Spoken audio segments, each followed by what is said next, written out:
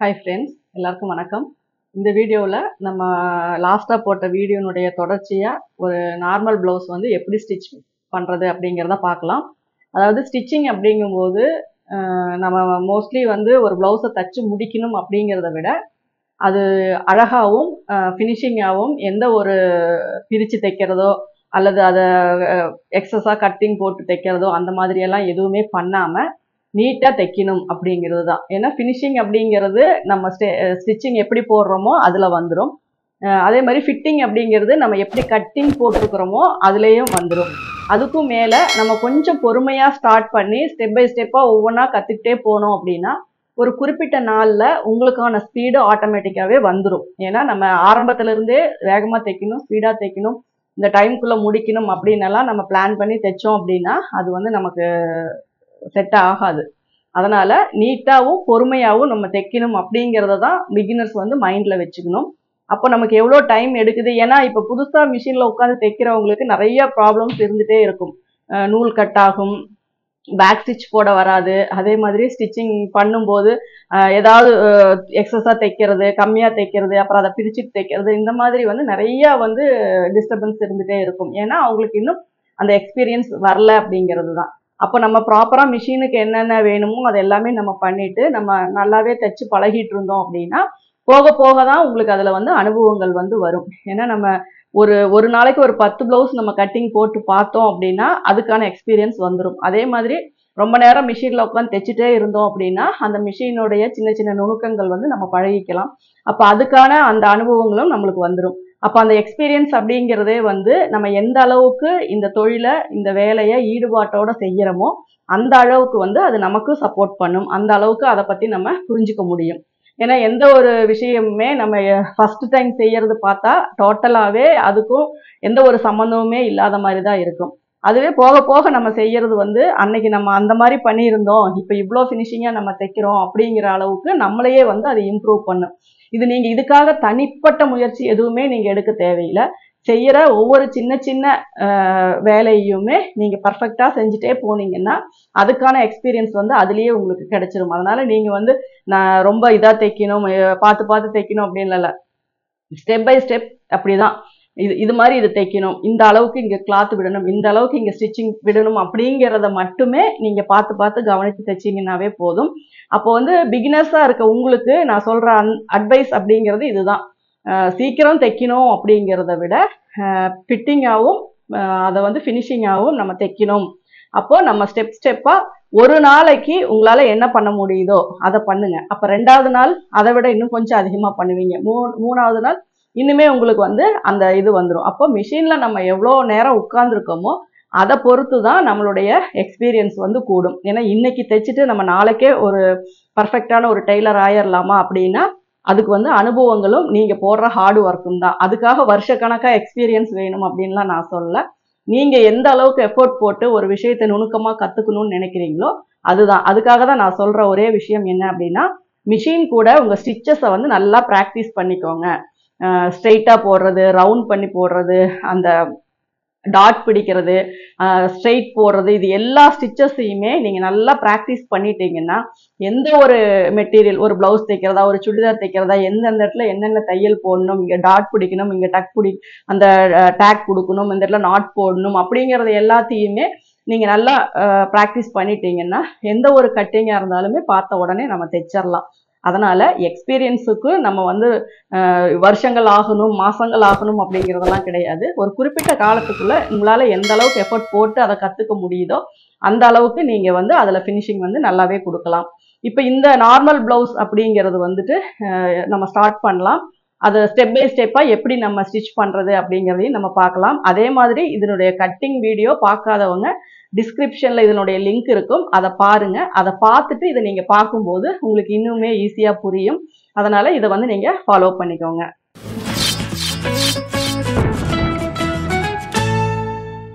இப்போ இது ஆல்ரெடி நம்ம ஏற்கனவே கட் பண்ணி வச்ச ப்ளவுஸ் தான். இதில் பார்த்தீங்க அப்படின்னா மேட்சிங் த்ரெட்டு போட்டாச்சு. அதுக்கு மேட்சிங்காக ஒரு யோக்குக்காக அதாவது கிராஸ் பட்டிக்காக ஒரு கிளாத் நம்ம எடுத்திருக்கோம். இப்போ நம்ம இதில் பார்த்தீங்கன்னா நெக் பீஸும் ஓப்பன் பீஸும் எல்லாமே கட் பண்ணி வச்சுருக்கோம். இப்போ ஃபஸ்ட்டு வந்து இதனுடைய நெக் பீஸை நம்ம ரெடி பண்ணுவோம். நெக் பீஸை வந்து என்ன பண்ணணும் அப்படின்னா எல்லாமே நல்லாவே கிராஸ் தான். அப்போ தான் இப்படி எக்ஸ்பெண்ட் ஆகும். இல்லாட்டினா உங்களுக்கு இப்படி குறுக்க இருக்கிற பீஸை இப்படி இழுத்தீங்கன்னா இது இழுக்காது. ஏன்னா இது வந்து நம்ம ஸ்ட்ரைட்டாக கட் பண்ணியிருக்கோம். அதுவே இது பார்த்தீங்கன்னா நல்லாவே இழுக்க இழுக்க எக்ஸ்பெண்ட் ஆகும். அதுக்காக தான் இதை கிராஸில் நம்ம கட் பண்ணுறது அப்போ தான் ரவுண்ட் நெக்குக்கெல்லாம் அது ஃபிட்டிங் வந்து கரெக்டாக வரும். ஃபஸ்ட்டு வந்து நம்ம லென்த்தாக இருக்க பீசஸ் எல்லாத்தையுமே ஜாயின் போட்டுடலாம். அதுக்கப்புறம் ஷார்ட்டாக இருக்கிறத நம்ம ஜாயின் போட்டுக்கலாம்.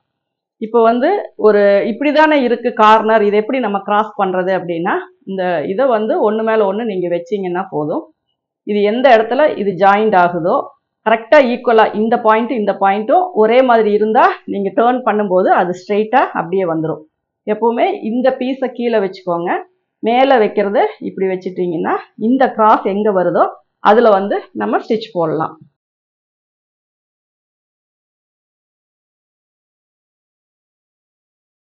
அடுத்தது இதை அப்படியே இப்படி ஃபோல்டு பண்ணிக்கோங்க. இப்போ இது கிராஸ் வந்துருச்சு. இப்போ இதில் இருக்க பீஸை எடுத்து இதுலேயும் இப்படி கிராஸ் வச்சுக்கோங்க. இது எந்த இடத்துல ஜாயிண்ட் ஆகுதோ அந்த இடத்துல வந்து ஸ்டிச் போட்டுக்கோங்க. அதே மாதிரி இது ஒரே அகலமாக இருந்தால் தான் சைடில் வந்து எக்ஸஸ் வராமல் நீட்டாக ஒரே ஸ்ட்ரெயிட்டாக வரும். அகலம் வித்தியாசம் வந்துச்சு அப்படின்னா மறுபடியும் கட் பண்ற மாதிரி ஆயிரும். அதனால அதையும் பார்த்துக்கோங்க. இப்போ இதையும் கிராஸ் வச்சிருக்கேன்.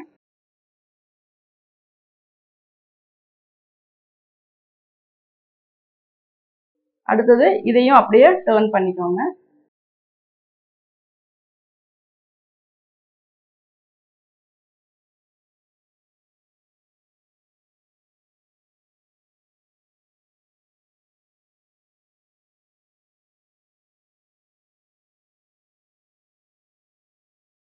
எல்லாத்தையுமே நம்ம ஒரே மாதிரி ஜாயின் போட்டாச்சு.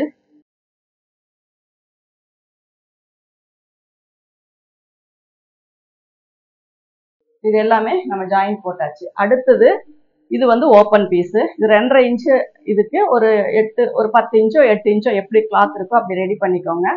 ஒரு ஒன் சைடு வந்து இப்படி ஹாஃப் இன்ச்சுக்கு மடித்து இந்த இந்த ஓரத்தில் தையல் போட்டுக்கோங்க. இது எதுக்காக நம்ம போடுறோம் அப்படின்னா இது வந்து வி பட்டிக்காக ஒரு அரை இன்ச்சு தள்ளி ஸ்டிச் போட்டுக்கோங்க.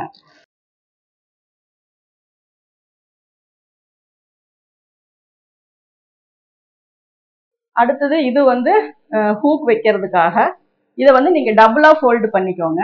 டபுளாக ஃபோல்டு பண்ணிட்டு நகத்தில் இப்படி நல்லா ப்ரெஸ் பண்ணிட்டீங்க அப்படின்னாவே உங்களுக்கு நல்லா ஃபினிஷிங் வந்து கிடச்சிரும். இப்போ இதனுடைய ஒரு குதிரை எடை அதாவது ஒரு கால் இன்ச்சு கேப்பில் நம்ம ஸ்டிச் போட்டுக்கலாம்.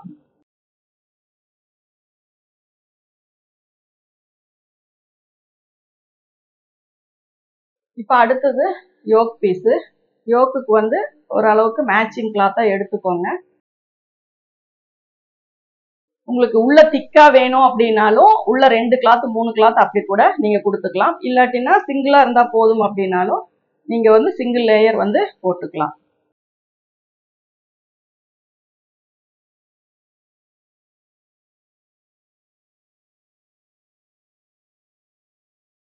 இதில் வந்து டபுளாக வைக்க பத்தாது. அதனால் நம்ம சிங்கிளாகவே போட்டுக்கலாம்.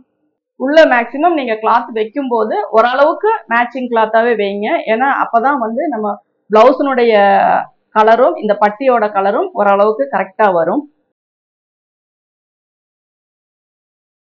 இப்போ இந்த இடத்துல பார்த்தீங்க அப்படின்னா இந்த நாச்சையும் இந்த நாச்சையும் நம்ம ஜாயின் பண்ணும். அப்போ தான் ஸ்டிச்சு வந்து கரெக்டாக உங்களுக்கு ஒரே மாதிரி கரெக்டாக நேராக வரும். இதில் வந்து நான் தையல் போடுறேன்.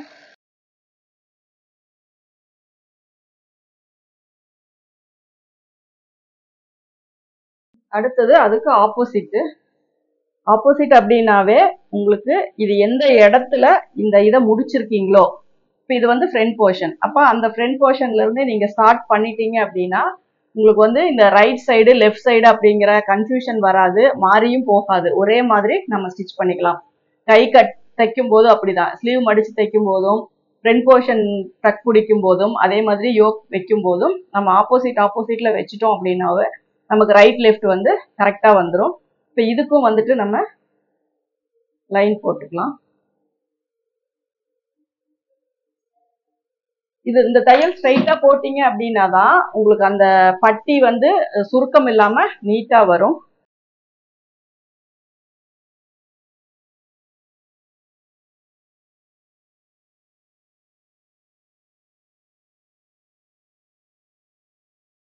இதை வந்து நம்ம கட் பண்ணிக்கலாம்.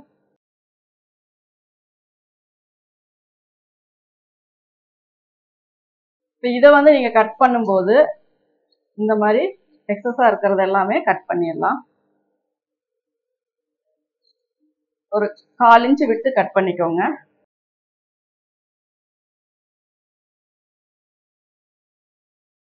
இப்போ இது பார்த்தீங்க அப்படின்னா உங்களுக்கு வந்து ஸ்ட்ரைட் பீஸாக அப்படியே வந்துடும் இப்போ இது பார்த்தீங்கன்னா நம்ம காசாக தான் ஜாயின் போட்டிருக்கோம்.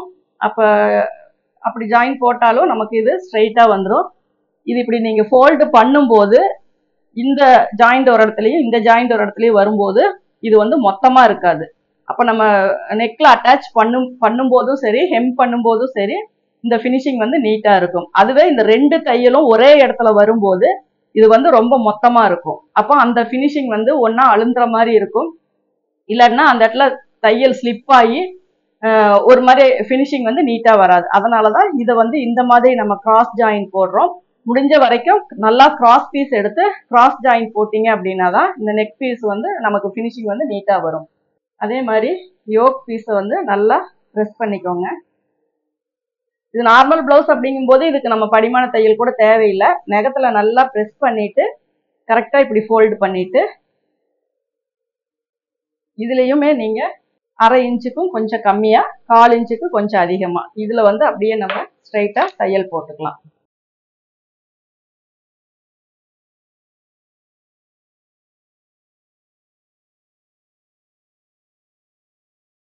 அதே மாதிரி ஆப்போசிட் சைடும் உள்ளே வந்து கொஞ்சம் கிளாத் இருந்தாலும் உங்களுக்கு அது திக்னஸாக தான் இருக்கும். அதனால் அது வெட்ட தேவையில்லை. இதுலேயும் அதே மாதிரி ஸ்டிச் போட்டுக்கலாம். அதில் என்ன அளவு இருக்கோ அதே அளவுக்கு இதுலேயும் போட்டுக்கோங்க. இப்போ இதை சுற்றி நீங்கள் தையல் போடுறதுனாலும் போட்டுக்கலாம். இல்லாட்டினா அப்படியே கூட நம்ம வெட்டி எடுத்துக்கலாம். இப்போ இதுலேயும் ஓரமாக நம்ம தையல் போட்டுக்கலாம்.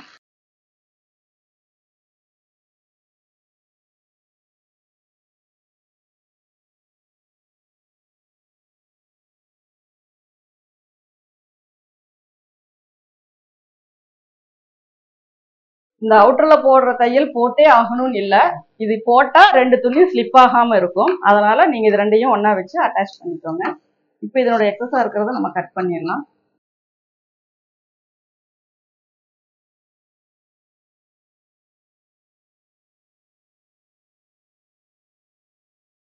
இது வந்து நம்ம யோக் வந்து ரெடி பண்ணியாச்சு. இதையும் செக் பண்ணிக்கோங்க. எல்லாம் ஒரே அளவாக இருக்கணும். அடுத்தது வந்து ஸ்லீவ் வந்து ரெடி பண்ணிக்கலாம். ஸ்லீவுக்கு வந்து சின்னதாக ஒரு ஜாயிண்ட் வருது. அந்த ஜாயிண்ட்டை வந்து போட்டுக்கலாம்.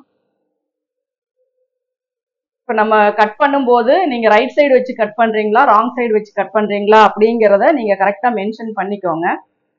ஏன்னா அது வந்து இப்படி இன்ட்டு போட்டிங்க அப்படின்னா இது ராங் சைடு அப்போ வந்து நம்ம இதுதான் நமக்கு மேல் பக்கம். அப்போ நம்ம மேல் பக்கம் வச்சு தைக்கும்போது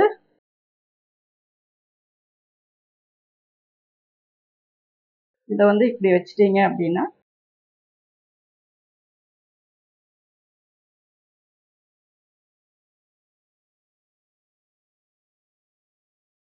அதே மாதிரி இதையும் அப்படியே ஆப்போசிட்ல எடுத்துக்கோங்க.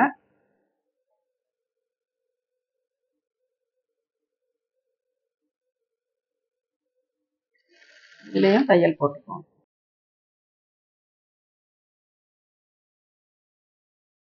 இதை அப்படியே திருப்பி ஒரு படிமான தையல் போட்டுக்கோங்க. நகத்துல நல்லா ப்ரெஸ் பண்ணி விட்டுட்டு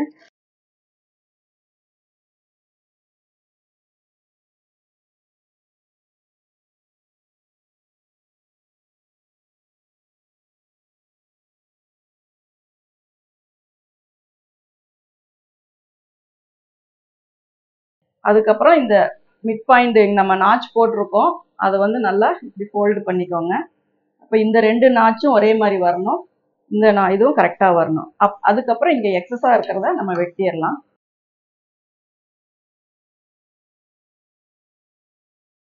இந்த நாச்சையும் கரெக்டாக போட்டுக்கோங்க. இங்கேயும் இந்த நாச் வந்து நமக்கு கரெக்டாக வந்துடும் அதே மாதிரி இந்த ஸ்லீவ்லேயும்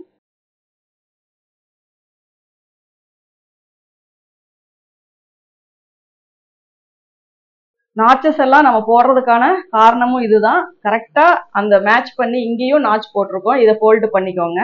இதுவும் e-, ஈக்குவலாக வந்துடும் இங்கேயும் கரெக்டாக வந்துடும் அப்போ நம்ம எக்ஸஸாக இருக்கிறத மட்டும் வெட்டினா போதும். இல்லாட்டினா நம்ம மறுபடியும் ஒவ்வொரு தடவை எல்லாமே மெஷர் பண்ணி மட்டும் வெட்டுற மாதிரி ஆயிரும். அதுக்காக தான் நம்ம நாச்சஸ் வந்து கரெக்டாக போட்டுக்கணும்.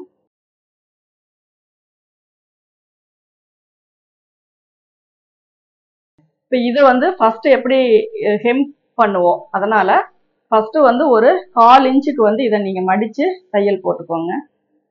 நகத்துல வந்து அழகாக இப்படி ப்ரெஸ் பண்ணிட்டீங்கன்னாவே போதும். இதில் வந்து நம்ம ஒரு தையல் போட்டுக்கலாம்.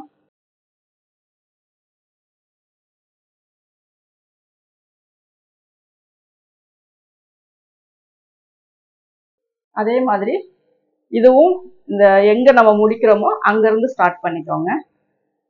இதையும் நல்லா ஒரு கால் இன்ச்சுக்கு இப்படி கையில் வந்து லைட்டாகவே ப்ரெஸ் பண்ணிங்கனாவே போதும். ரொம்ப அமுத்தியெல்லாம் பண்ணணும்னு இல்லை. இந்த ஃபோல்டிங் இருந்துச்சுன்னா உங்களுக்கு தைக்கிறதுக்கு கொஞ்சம் ஈஸியாக இருக்கும்.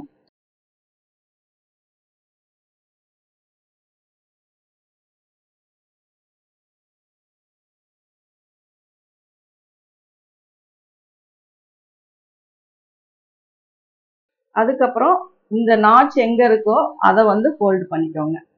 அதே மாதிரி நகத்தில் ப்ரெஸ் பண்ணிக்கோங்க.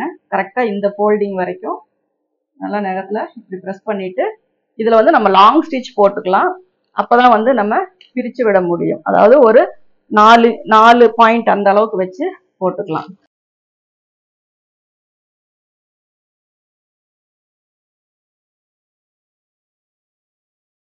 இதையும் அதே மாதிரி. ஃபஸ்ட்டு வந்து இப்படி ஒரு நகத்துல ஒரு ப்ரெஸ் பண்ணிவிட்டு அதுக்கப்புறம் தைச்சிங்கன்னா தான் இந்த சைடு வந்து நமக்கு ஓரளவுக்கு அந்த ஃபோல்டிங் வந்து நமக்கு மடித்து தைக்கிற அளவை வந்து சப்போர்ட் பண்ணி கொடுக்கும்.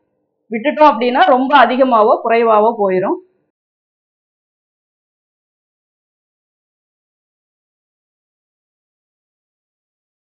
அதுக்கப்புறம் தையலை நீங்கள் நார்மலாக வச்சுக்கோங்க. இதனுடைய கையினுடைய சுற்றளவு வந்து நம்ம மார்க் பண்ணிக்கலாம். பன்னெண்டு இன்ச்சு அப்படிங்கும்போது இதில் ஒரு மீடியல் மார்க் போட்டுக்கோங்க. அதே மாதிரி இதுலேயும். ரெண்டு ஒன்றா வச்சு போடுறதுனாலும் போட்டுக்கலாம். இப்போ பார்த்தீங்கன்னா இந்த ஸ்லீவனுடைய ஆம் ஹோல் பார்த்தீங்கன்னா டீப் வந்து ஒன்றுக்கு ஒன்று பார்த்த மாதிரி தான் வரும். இப்போ இதுவும் இது மேலே வச்சுட்டு ஏற்கனவே நீங்கள் போட்டிருக்க அதே நீடில் மார்க்கையை இதுலேயும் போட்டுருங்க. இந்த எக்ஸஸாக வர்றதை மட்டும் நம்ம கட் பண்ணிக்கலாம். இப்போ வந்து ரைட்டு லெஃப்ட்டு ரெண்டு ஸ்லீவும் நம்ம ரெடி பண்ணியாச்சு.